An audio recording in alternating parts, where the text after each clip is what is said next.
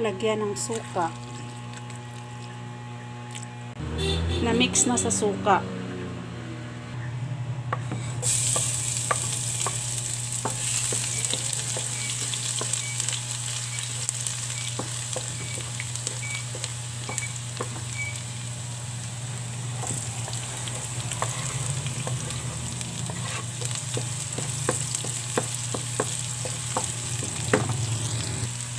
Andyan ang ating garlic and onion mince.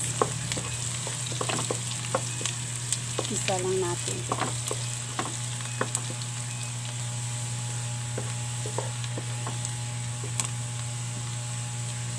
Lagay na natin ang ating pork.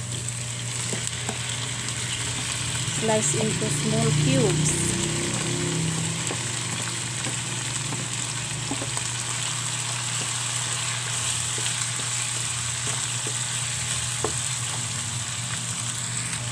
Kunting asin para sa gisa.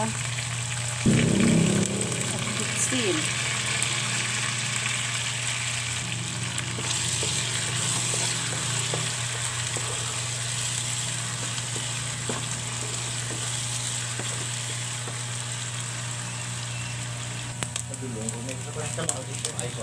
Okay ng ating baboy.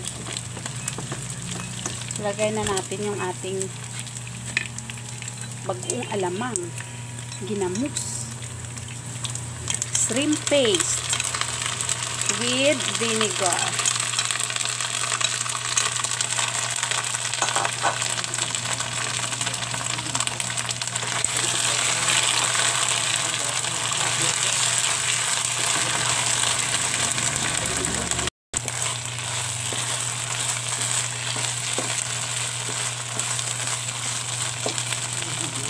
gawin natin spicy.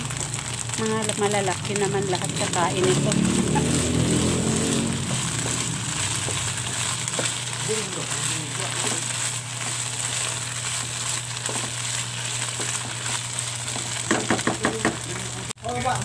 mix natin ulit.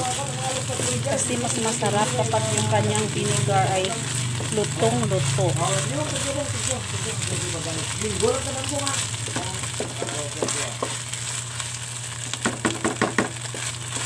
okay na to guys. Salamat sa inyong panunood. Suporta. God bless. God bless us all. Luto ng ating ginisang bagoong